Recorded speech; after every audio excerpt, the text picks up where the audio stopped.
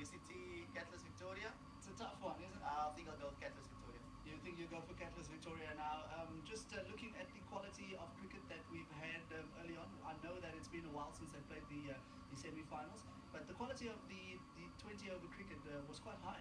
Well, all of these games went on the last over, so I mean that those interesting times. And if you look at the second game into a super overs, the first we have of the past three years.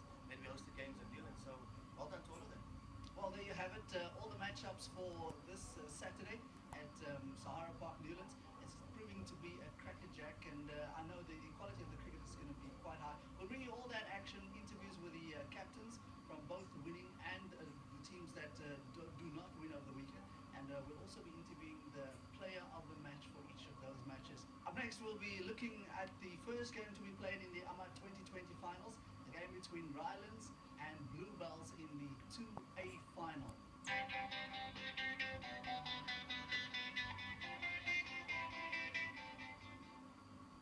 Bluebells Cricket Club won the toss and decided to bat first. The team's openers got off to what looked like a good start, but soon lost their first wicket with only 17 runs on the board when Nathir Khamildin was the first wicket to fall, being stumped for only seven. Bluebells continued losing wickets regularly, but a 46-run fourth wicket partnership between top scorer Basadin on 58 not out and Nizam Keraka 15 saw the Western Province Cricket Association Division 2A one-day competition winners fight back to 70 for 4.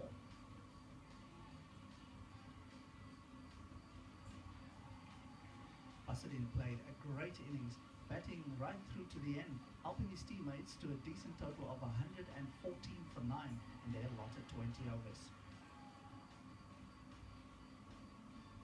Tahir Talaria was the pick of the bowlers for Rylands Cricket Club, getting 3 for 24 in 3.5 overs.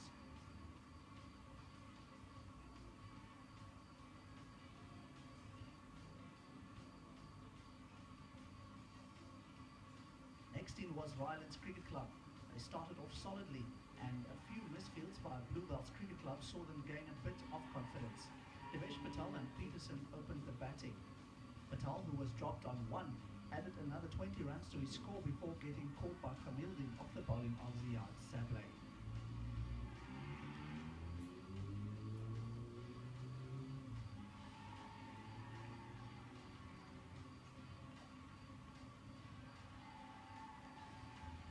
After losing their first wicket, Ryland struggled to put a partnership together.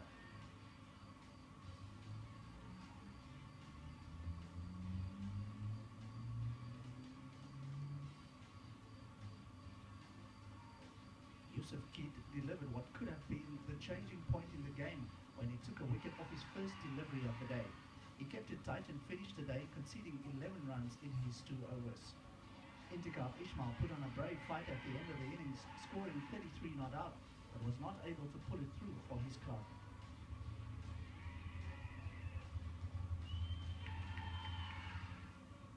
I've got uh, Nizam Kerika, the captain of Blue Bluebells, with me. Nizam, firstly, congratulations on a wonderful performance. Thanks so much. Thanks so much. I really enjoyed the, the game. Um, it was quite tense, but uh, at the end of the day, we, we pulled through, so it was quite enjoyable.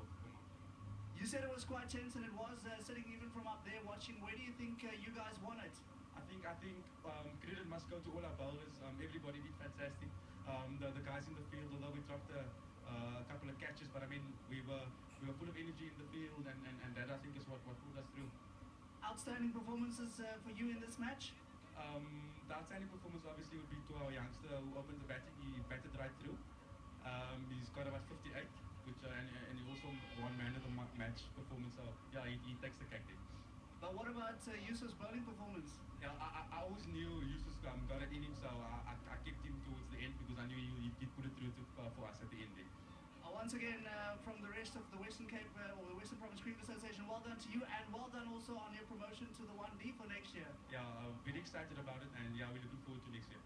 I've also got the captain of the team that uh, unfortunately didn't win today, Salim Mukadam from uh, Rylands Cricket Club. Salim, hard luck and better luck next time. No, definitely. Thanks very much. You know, like yesterday's game with the Proteas, the best team doesn't always win. And um, our guys played really well. We trained really you know, for us, it's, it's the first time we were at Newlands. Uh, Bluebells were the losers last year and they managed to win the trophy this year. So, you know, that'll motivate us to do try a little bit harder next year to be back here. And it's just, you know, for a lot of our guys, this is their World Cup. You know, being able to play at Newlands on this ground and with the conditions in front of this amount of people, and it's amazing. You know, and, and hats off to the Western Province Cricket Association for actually putting up with this final at Newlands.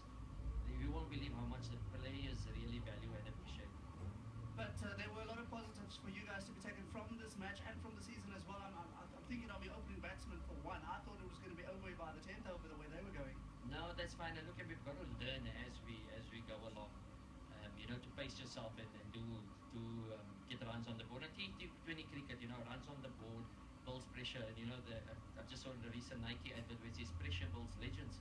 So being able to train and perform under these conditions on this surface, uh, you know, it's amazing, and that's how our players are going to improve. So hopefully we can get you know facilities at club cricket up to a certain standards, and cricket in general in the Western Cape will improve.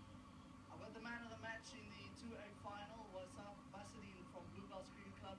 A wonderful 58. What a knock from a young man. He's still at school, believe it or not, from South Peninsula.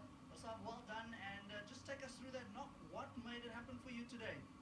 Um, I think earlier on the ball was doing quite a bit, and my plan was to bat